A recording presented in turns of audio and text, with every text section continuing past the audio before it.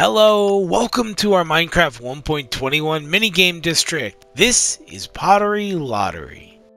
A carnival-style, destructible environment minigame based around the wind charge and breaking pots. That's kind of what I'm obsessed with lately. This one's got a totally different feel and style from the last one. And I think you're gonna like it. Check it out. We're gonna break pots using the wind charge. What's cool is when you break a pot, the observer sends off a redstone signal which will make a dispenser drop an item if it's underneath it. Where you have the potential to win really good items or kind of rack up as many points as you can in 4 rounds. You get 8 tries with the wind charge and then you can jump across the lava to get 4 more. If you're doing a bunch of rounds, the likelihood that someone's going to fall in is pretty high. You just gotta aim. Some of the more hard to reach areas, I put like some higher point values, and then some of the easier ones are just lower points, and maybe like negative points. It is really cool that the trapdoors flip and the pots break. We pretty much can make destructible environments now. That's pretty cool. Bricks are plus 1, red is minus 5, honeycomb is plus 10, and diamond is plus 5. Ooh, that's not a good round. Uh, a couple more, maybe? Oh, bricks. Brutal. Okay, yeah, that's actually a pretty good round. If you get lucky all four rounds, you could get every single item as a prize, but it's gonna take a lot of luck. Okay, 54. I was hoping like for 154, but that's alright. You could end your round right there and then just let the other player go. Maybe to make it harder, the opponent sets up the round. They have a couple extra pots to maybe sabotage. But I'm going for the risk. I'm jumping across the lava. All you gotta do is do this simple little jump Boom! You get four more shots and a trial key. Nice. You have to approach from this angle. I set up barriers so that you have to make the jump and then walk over here precisely. So it's a really easy jump, but imagine, like imagine doing 20 rounds, 40 rounds with your friend. Someone is going to be falling in. The four extra shots might help a lot or not at all, so that's kind of the risk you have to take.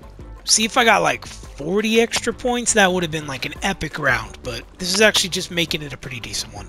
Not even one more? Okay. Alright. Fair enough. This is just simply what would happen if you were to hit one of these. Uh, zombie! That's why the... That's why the wooden sword's here. If you die, that's the end. That's it. If you fall in the lava or you die, that is the end of the round. Your opponent wins. All four rounds. Is the risk worth it this round? Are you far enough ahead? You gotta kind of like strategize. Oh, I did it again. Definitely not intentional to show you how it works. I dub this pottery Molech land. I will protect my lands. Run! Flee! I'm going to show you how easy it is to set the round up.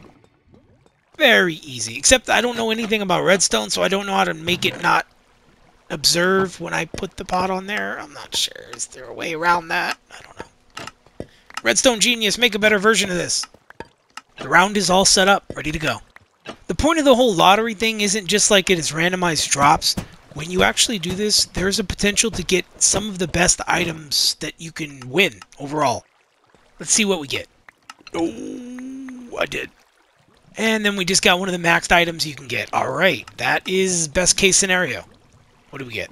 Ooh, super prot. Alright. Protection armor for recruit of the Copper Army. Sweet. I think it's going to be a good replacement. That is a major upgrade. I'm definitely changing armor. Okay, I'm just going to keep this one. I like this better. Look at this fit. The netherite doesn't go with the shoes anyway. Alright, next round. Hopefully I'm getting another item like that. That would be cool.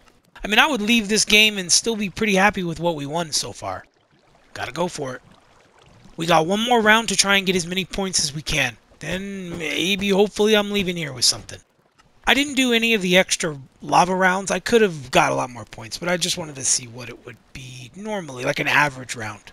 And uh, looks like we got subtract the 500, divide by 3. I'm good at math. Give me a second. Let's see what we can afford. Nothing. Now we can get the boots. Stack up on some trial keys maybe. Nah. We got a chest piece, so I don't really need that, but it is a different one.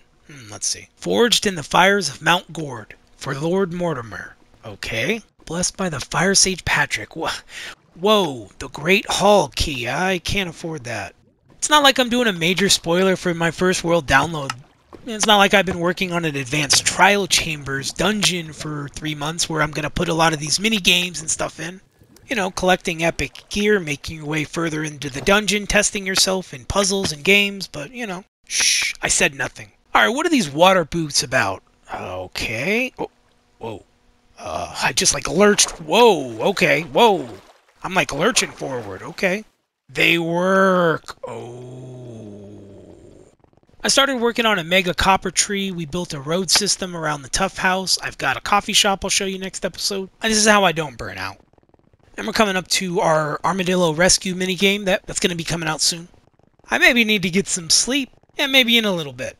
So another fun one at the Coppertown minigame district. We're going to be uh, here for a little bit. Working on some different stuff. See you around. Peace. Not the boots. Save the boots.